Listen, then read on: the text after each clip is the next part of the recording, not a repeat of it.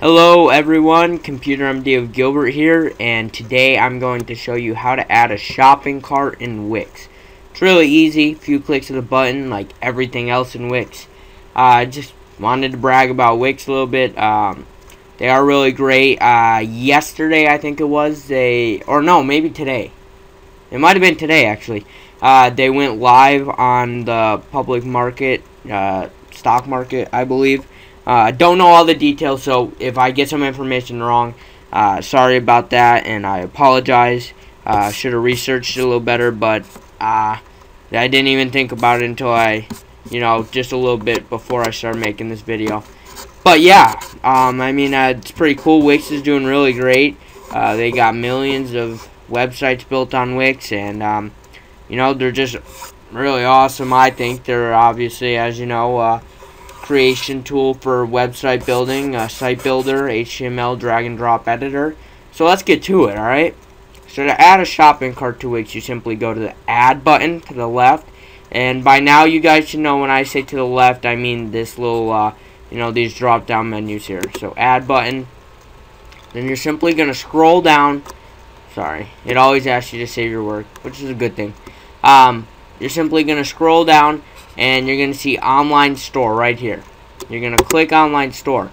From there, you could uh, choose a product gallery, a shopping cart, uh, a view cart button, and then obviously an add to cart button. So you could create, Wix is awesome for e-commerce stuff. So, uh, I mean, you could create full e-stores on here, and they're, it, since Wix is so customizable, um, really you could create whatever kind of store you want and make it look really good. You could see uh, I'm using their new Christmas theme. I thought since this is their literally brand new theme, the newest they put on like two days ago, I would uh, use this as a background uh, for this website. But simply, you press shopping cart. When you do that, I'm just right now it's just on my home page in front of everything. But uh, this pops up, and obviously it'll list their items, their what they have, the quantity of what they have, the prices, and then obviously the option to remove it. And then if I pull it up a little bit more, you can see it shows the total, it shows checkout, and it also shows that pr total price.